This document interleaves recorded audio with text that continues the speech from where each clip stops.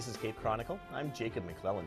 Trent Summers is Cape Girardeau's newest city council member. He was elected earlier this year to represent Ward 3. Trent Summers, thank you so much for, for joining us today. Thank you for having me, Jacob. Well, first off, I mean, what, what, uh, what inspired you to, uh, to go ahead and make a run for, for city council? Well, I've had a history of working in government uh, at the federal and state level, uh, uh, over 10 years experience, I think, uh, in, in, different capacities. And I grew up in Cape Girardeau and moved away for a time, and my wife and I decided to come back here to raise our family. And I think being involved in your community is something that's important to do, and uh, I felt that I could uh, bring some of my experience in, in government at different levels and uh, contribute to the betterment of our city. What was some of the uh, some of the government work that you had that you had done before uh, coming to Cape Girardeau? I started out of college as a field representative for U.S. Senator John Ashcroft. Uh, following that, I joined with at the time Secretary of State Matt Blunt and worked with him. then, as he became governor, I, I moved up with him and. and uh, worked in a couple different capacities at the state level. I was at the Department of Natural Resources and at the uh, State Office of Administration. Uh, and then I, I, left the Blunt administration to join the Missouri Chamber of Commerce, where I, I worked on government affairs for them um, which is what I was doing uh, when I made the decision to, to come back here to Cape Girardeau. And now that you're in Cape Girardeau, when you're not on City Council, what's your uh, what's your day job? What's uh, what do you do I'm now? an account executive for Red Letter Communications. Uh, we're a local marketing agency. Uh, have an office downtown, which uh, I really enjoy working downtown and, and being able to uh, work in that atmosphere. It's something that, that I think is a, a great part of my job. But uh, uh, we have a multitude of clients that we uh, do advertising and marketing for, and, and I work with those clients and our production staff to deliver the best marketing plans for them. Now, in, in your mind, what's the uh, what's the role of, of a city council and of uh, local government? Uh, well, the role of a city councilman, I, you know, you uh, city council is unique from state or federal in that I think it's the most direct relationship that you have with your government. Um, there's not a lot of the, the red meat political issues that dominate, you know, TV and, and current events. Uh, it's it's much more direct uh, impact on people's day-to-day lives, whether it's trash pickup or streets. Uh, so I think that dynamic between um, your constituents and the, the elected official is different. Um, and, and that's what one of the things that attracted me to do this because I've participated at different levels, but uh, I think really to, to have an impact on, on people's day-to-day lives is much more available at the, the local level. Um, as far as the, the, city council as a whole goals, you know, I think their main job is to represent uh, their constituents and to help um, ease the uh, hurdles or burdens that they might have uh, because of their interaction with government.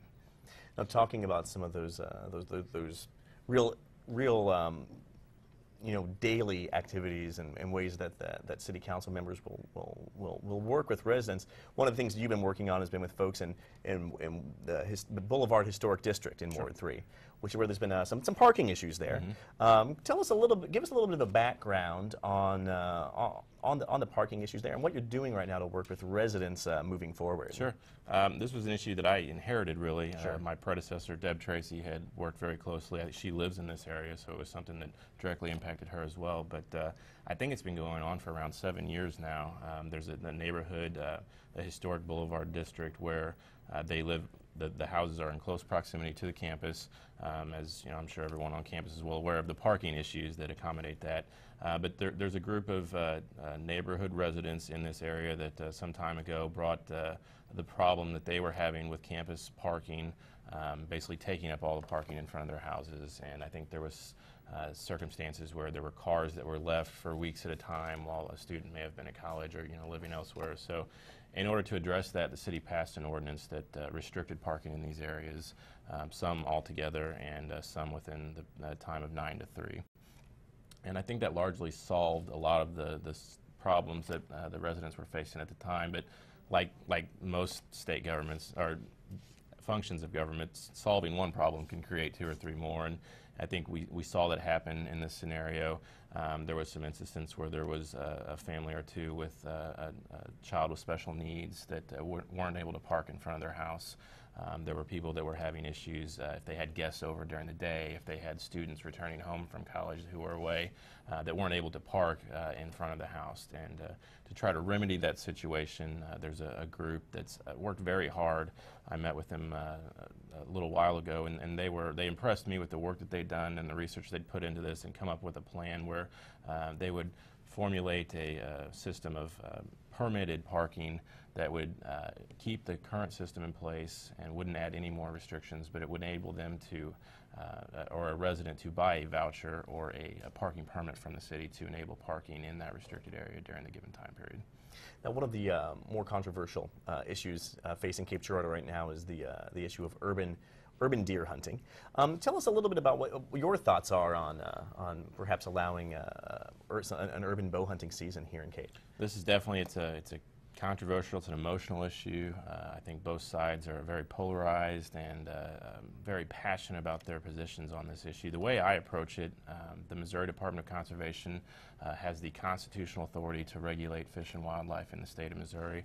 This is a, a method with dealing with uh, a wildlife situation, particularly in an urban environment, they have approved and that, that they deem it as both safe and effective way to manage the deer population. And I, I think due to that, it is something that, that the city should definitely consider. And uh, I support it as in a way to effectively manage our deer problem in, in this, the city limits of Cape Girardeau. Um, I think because of where we are located physically, we have that interaction where the urban area is meeting the rural area probably at a quicker rate than some other places. Okay. Um, you also help out on the uh, Girardeau Goes Green Advisory Board. Tell us a little bit about this, about the uh, about the role of this advisory board.